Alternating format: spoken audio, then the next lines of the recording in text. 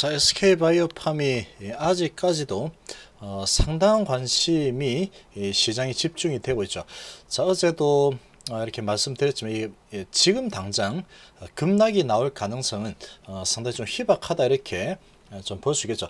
오늘도 오전에 급락이 나왔지만 어, 다시 하락한 수준에서 어, 들어올린 힘을 보면 아주 강한 반등이 나타났다 이렇게 볼 수 있겠습니다. 자, 힘이 아직까지 살아있죠. 살아있는 힘이 좀 느껴지는 어, 그런 모습을 보여줬습니다. 자 외국인 물량은 지속적으로 어, 나오고 있죠. 어, 지속적으로 소진이 되고 있고 아, 이런 분위기라면 아, 개인 큰 손들 그리고 기관들이 SK바이오팜 그냥 무너지게 쉽게 크게 내려가도록 어, 놔두지는 않을 가능성이 상당히 높다 이렇게 볼 수 있겠습니다. 계속 흔들면서 어, 변동성을 일으키면서 어, 그 차익을 어, 충분히 이제 먹을 수 있다라고 생각을 하고 있는 거죠. 그만큼 이 SK 바이오팜의 어, 이런 어, 시장의 관심도가 높기 때문에 이런 흐름이 나오는 거다 이렇게 볼 수 있겠습니다. 자 이렇게 봤을 때 이런 관점에서 본다면 지금은 이 SK 바이오팜의 이 펀더멘탈 측면에서 어, 보는 거는 별로 의미가 없습니다. 아, 지금은 펀더멘탈 측면으로만 본다 그러면 어, 매도를 해야 되겠죠. 어, 매도를 해야 아, 되는 상황이겠지만 어, 지금 당분간은 롤링이 지속이 될 가능성이 아주 높다 이렇게 예, 볼수 있겠습니다. 지금은 수급에 의해서 어, 그냥 움직여지는 어, 그런 상황이다 이렇게 볼 수 있겠습니다. 자 지금 이제 상 상 상 여기서 한번 풀리고 나서 다시 상을 쳤는데 여기서 한번 크게 오전에 오전에 한번 밀어붙였다가 바로 내렸죠. 어, 개인 투자자가 어, 들어갈 만한 어, 그런 어, 상황이 만들어졌을 때 예, 수익을 내기가 쉽지 않습니다. 쉽지 않지만 어, 여기에서는 지금 욕심을 어, 좀 버리고 상당히 단타로 임한다라는 그런 마인드로 접근을 하는 게 좋습니다. 지금 이 SK바이오팜 어, 지금 공모가 대비해서 어, 지금 너무나 많이 위로 올라와 있죠. 5만원 수준에서 지금 20만원, 한 4배 정도 지금 올라와 있는 상황이다 보니까, 어, 요 상태에서, 어, 지금 계속해서 이제 지금 이렇게 많이 흔들리고 있는 상황에서, 어, 나는 장기로 한번 끌고 가 보겠다. 자, 이거는 어, 상당히 좀 위험할 수 있습니다. 위험할 수 있는 어, 그런 상황이다 이렇게 볼 수 있겠고 어, 지금은 어, 그런데 모릅니다. 그런데 기관하고 개인 큰 손들이 그냥 일단 한번 크게 한번 밀어보자. 그렇게 이제 마음을 먹는다 그러면 어, 충분히 밀 수도 있는 상황이다 이렇게 생각입니다. 자, 왜 그러냐? 자, 지금 보시면 이제 외국인들이 계속 팔죠. 외국인의 매도는 아마 내일도 나올 겁니다. 계속 나올 겁니다. 아마. 어, 지금 외국인들이 펀더멘탈에서 너무 오버슈팅이 되었다 라고 판단하면 일단 팔고 어, 보죠. 일단 팔고 보기 때문에 어, 지금 물량이 계속 나오는 상황이다 이렇게 볼 수 있는데 자 오늘도 어, 보면은 오전에 CS증권에서 시작하자마자 팔아버렸죠. 시작하자마자 팔아버리고 그 다음에 이제 장중에 시작하자마자 판 상황을 보면은 여기 이제 시작했죠. 시작하자마자 여기서 막 팔아버렸습니다. 여기서 쭉 팔아버렸죠. 어, CS에서 이제 한 4만 주 가까이 팔아버리고 쭉 밀렸습니다. 이렇게. 예, 그렇게 밀렸는데, 거래량은 뭐 30만 주나 거래됐죠. 어, 시작하자마자 3만 7천 예, 주를 팔았으니 요 언저리에서 바로 어, 다 팔아먹었을 겁니다. 그리고 이렇게 밀려 내렸죠. 이렇게 크게 매도하면서 밀려 내려왔는데 여기서 이제 무너지지 않죠. 바로 쭉 무너져서 어, 내려가기에는 아직까지 지금 충분히 변동성을 만들어낼 수 있다라는 자신감이 있는 겁니다. 어, 이런 주포들이 여기서 이제 밑으로 내려서 어, 한 오늘 저가를 보면은 마이너스 8.5%까지 갔었죠. 지금 상상상 세 번 치고 이렇게 큰 시총이 큰 종목이 또 대기업이죠. 자, 이런 어, 종목이 상 세 번 치고 어, 지금 상이 풀리고 어, 시작을 하고 어, 7%가 어, 내려갔죠. 7%가 내려갔는데 여기에서 딱 버텨버렸죠. 어, 한 번에 무너지지 않는 어, 그런 모습을 어, 딱 보여줬습니다. 자, 어제도 이 한 번에 무너지지는 않을 거다. 그렇지만 개인들이 접근해서 어, 이렇게 어, 심리적으로 어, 이겨내기가 아주 쉽지 않을 거다 이렇게 말씀드렸는데 어, 쉽지 않습니다. 이 시작하고 나서 쭉 끌어내리고 이렇게 버티죠. 자, 이런 상황이 발생하면은 이 개인 투자자 입장에서는 이 눈치를 살필 수밖에 없습니다. 내가 자지우지하지 못하기 때문에 쭉 이렇게 내렸죠. 내려서 버티는 모습을 보여주죠. 초반에 거래가 많이 터지고 나서 어, 쭉 버텼는데 이 21선에서 맞고 보통 떨어진 밑으로 계속 밀린다면은 21선 맞고 밑으로 밀리고 21선이 계속 이런 계단식으로 하락을 할, 하는 경우가 많습니다.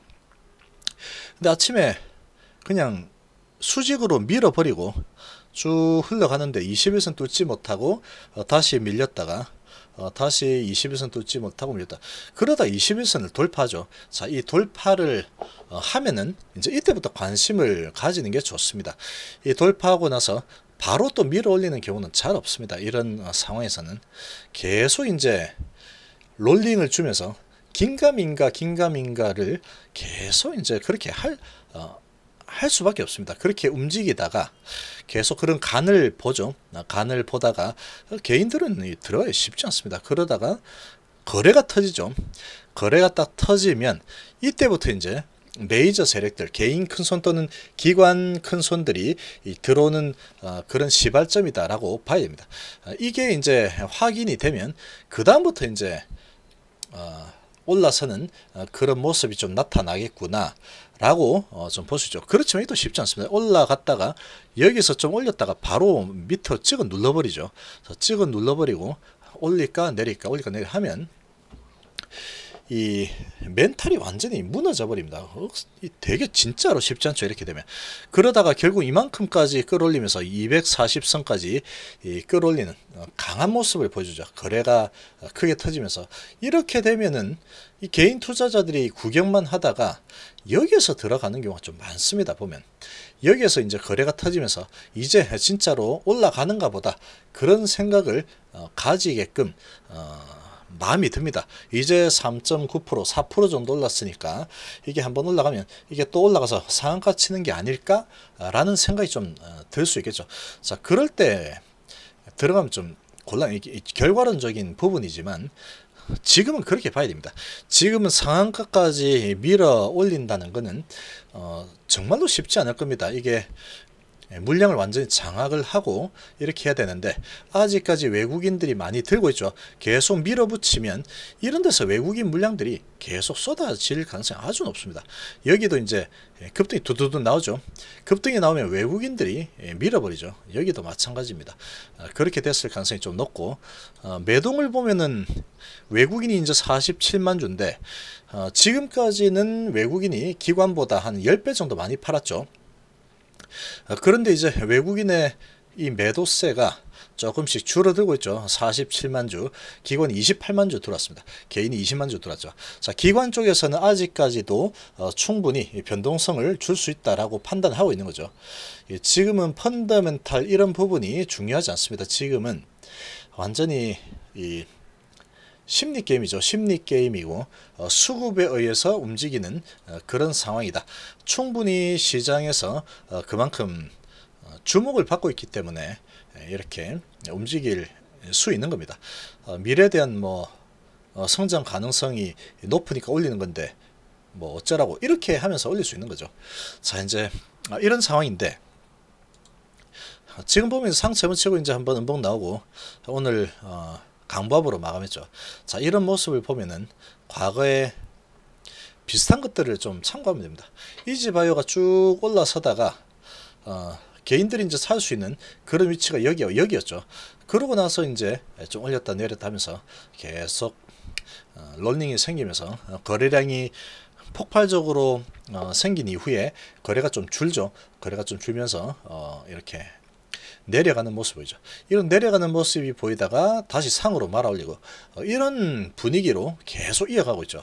자 이런 어, 모습을 봤을 때 이 SK 바이오팜도 비슷한 흐름이 나올 가능성이 있습니다. 일단은 이 SK 바이오팜의 현재 이제 외국인 소진율이 3.7%밖에 안 되죠. 이 3.7%밖에 안 되다 보니까 이 물량이 나올 만한 어, 그런 물량들이 이제 조금씩 줄고 있죠. 어, 조금씩 줄고 있습니다. 자, 이런 부분을 어, 기관하고 개인 큰 손들이 충분히 받아서 어, 이렇게 좌지우지 할 수 있겠다. 어, 라고 지금 판단을 하고 있기 때문에 이 외국인들의 물량이 어느 정도 이제 나오다가 한 몇 프로 정도는 또 지고 있을 가능성이 있겠죠. 완전히 제로까지 떨어질지 그거는 뭐 알 수 없겠지만 일단은 어 지금 뭐 3. 몇 프로밖에 되지 않기 때문에 예 그런 물량들을 이제 장악을 하게 되면 개인과 기관의 이런 큰 손들이 장악하겠죠. 일반 개인들은 어 해당 없습니다. 어, 이 장악을 어느 정도 하게 되면 그 다음부터 이제 그런 어 물량을 가지고 어, 돈의 힘이죠. 돈의 힘을 가지고 이렇게 한 번씩 크게 밀어 올렸다가 또 내렸다가 이런 흐름이 이 계속 전개될 가능성이 높습니다. 지금 어, 지금 여기에서 어, 오늘 밀어 올리는 힘을 어, 보여줬죠. 어, 그리고 외, 기관들이 많이 들어왔습니다. 그러면 내일도 외국인의 물량은 나올 거고 어, 개인하고 어, 기관 큰 손들이 이 물량을 가지고 올렸다 내렸다 엄청난 롤링을 어, 보여줄 겁니다. 어, 상당히 보여줄 거기 때문에 예, 그런 흐름을 보고 어, 크게 욕심을 내지 않는 게 좋습니다. 지금은 이 펀더멘탈 측면에서 봤을 때 외국인은 계속 매도를 하고 있기 때문에 지금의 상황에서 이 외국인이 다시 매수로 들어 오기는 어, 쉽지 않을 거다 이렇게 보여지고 일단 가지고 있는 물량들 계속 좀 소진을 할 걸로 예상이 됩니다. 그 물량들을 이 개인 큰손 어, 그리고 기관 큰손들이 계속 물량을 흡수를 하면서 이 흡수한 물량을 가지고 계속 이제 올렸다 내렸다 올렸다 내렸다 하면서 어, 쭉 돈으로 밀어붙이고 위에서 좀 팔아서 다시 현금 확보하고 또 밀어붙이고 현금 확보하고 그런 흐름이 나올 가능성이 좀 있습니다. 자, 그래서 어, 지금은 어, 상당히 뭐 거품이다 이렇게도 볼 수 있는데 어, 지금 인기가 상당히 아직까지도 살아 있기 때문에 어, 계속 이런 어, 롤링이 상당히 크게 나타날 가능성이 높습니다. 자, 오늘도 보면은 마이너스 8%에서 4%니까 한 12% 정도 왔다 갔다 했죠. 그 전날도 보면은 20 7% 어, 정도 왔다 갔다 했죠. 자, 이런 흐름이 계속 전개가 될 가능성이 높기 때문에 단기 투자자들은 어, day trader들은 scalper들은 상당히 많이 달라붙을 겁니다. 어, 21만 원짜리가 600만 주 정도 거래가 됐죠. 아마 아, 이런 현상은 어, 며칠 동안 계속 지속될 가능성이 아주 높다. 그러나 방향성을 어, 읽으려고 어, 하기보다는 이런 변동성을 어, 따먹는 이런 변동성을 따먹는 이런 부분을 어, 집중해서 바라보는 게 좋습니다.